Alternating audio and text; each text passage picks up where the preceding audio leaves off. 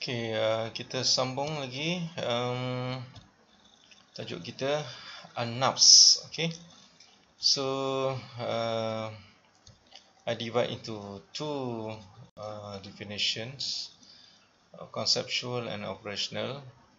So, an-nafs conceptual still uh, uh, same with the ar because uh, it is the essence of life because we understand that uh, nafs eh, part of the soul.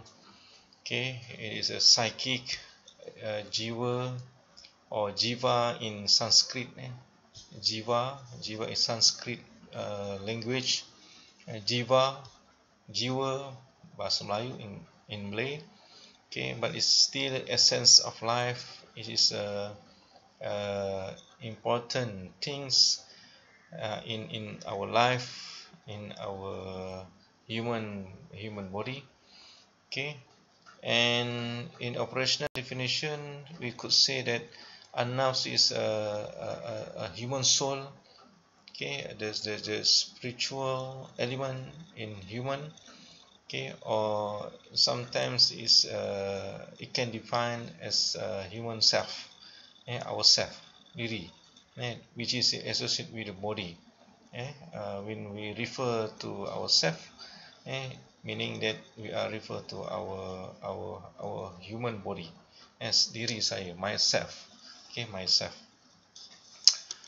Okay uh, this is a definition uh, given by uh, Carzon uh, he said that uh, it is something internal in the entity of a human who exact nature cannot perceive. It is ready to accept direction towards good and evil.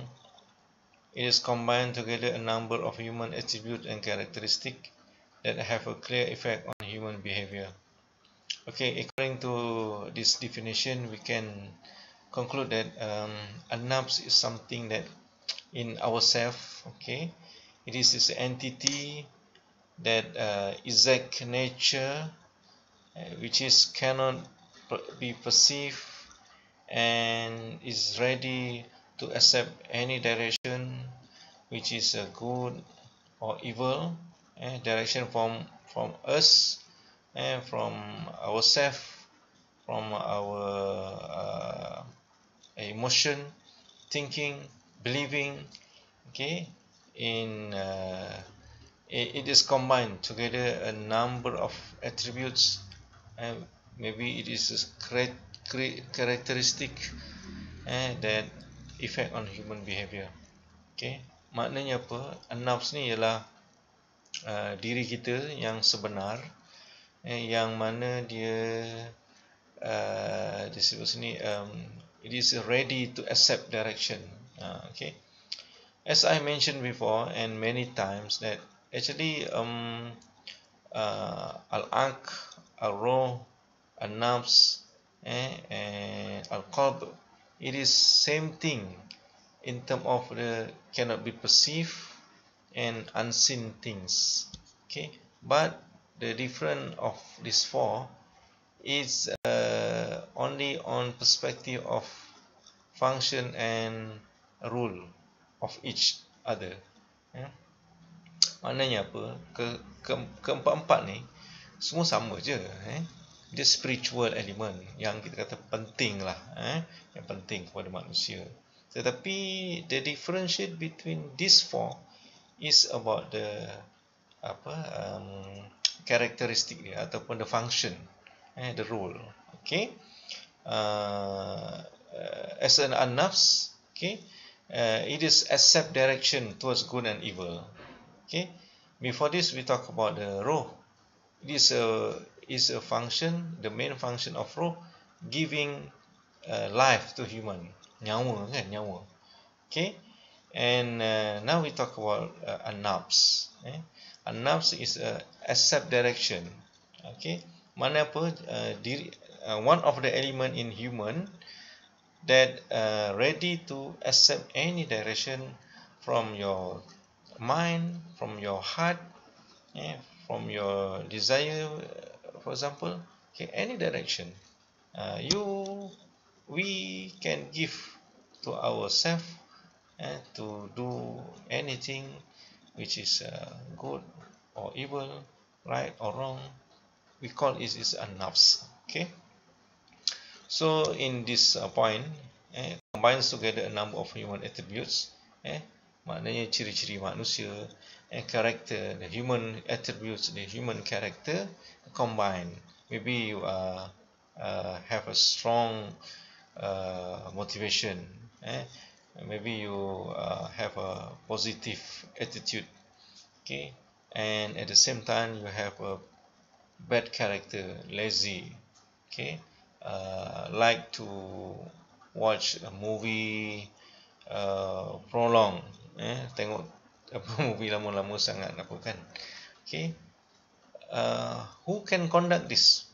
eh, you want to do this? You want to do a good thing? Or you want to do a negative thing?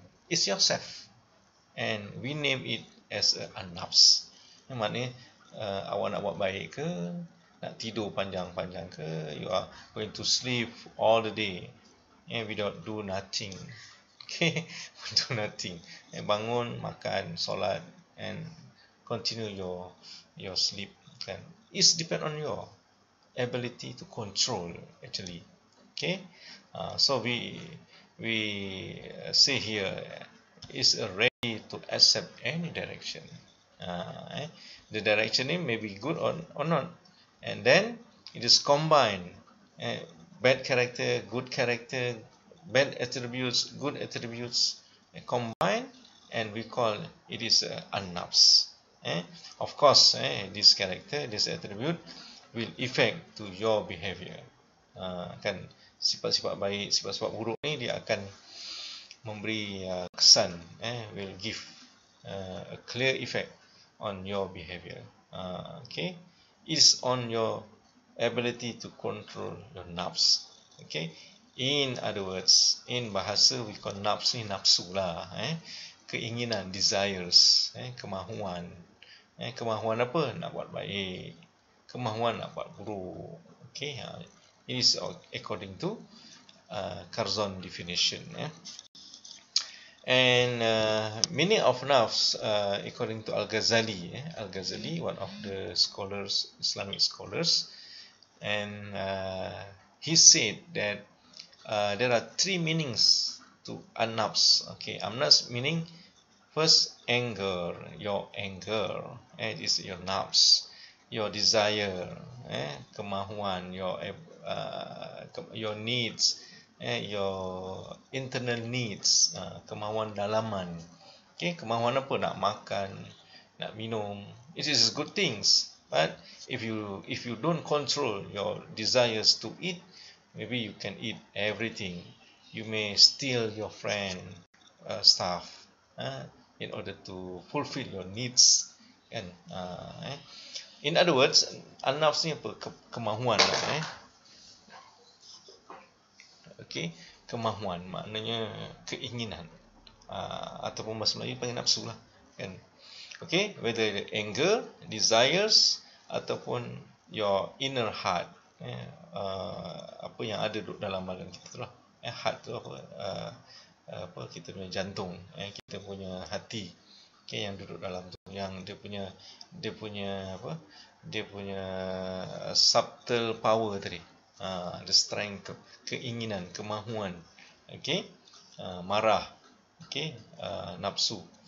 Desires. Eh apalah. Eh jadi maksudnya di sini uh, jelas bahawa Ghazali kata an-nafs eh ialah anger. Is it anger?